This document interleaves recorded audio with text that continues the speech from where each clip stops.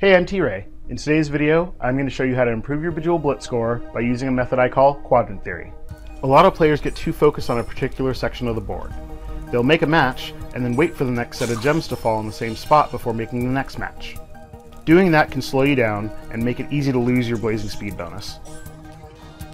With quadrant theory, the idea is to divide the board into four distinct sections, like this. And then treat each quadrant as a separate piece of the game board. This will help you find matches quicker and keep you from getting too focused on a particular area of the game board. When you start practicing, turn off all your boosts and don't use any rare gems. That way you're not losing any coins. As soon as you click go, look for a match in the bottom two quadrants of the game board. Don't wait for the gems to finish their swap.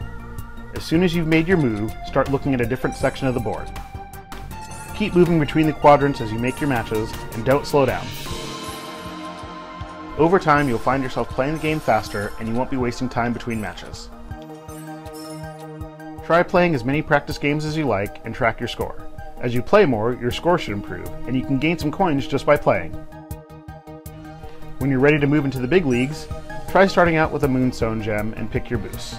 That way, you don't have to use a lot of coins. At the start of a Moonstone game, you should be able to at least detonate one star gem in the lower quadrants. When the game pauses to show the star gem explosion, it gives you a few seconds to look around for another match. If you keep practicing with quadrant theory, you'll find your scores improve over time, and you'll make it into the blazing speed bonus a whole lot easier. For more tips and tricks on Bejeweled Blitz, please click the subscribe button. I'm T-Ray, thanks for watching, and keep blitzing.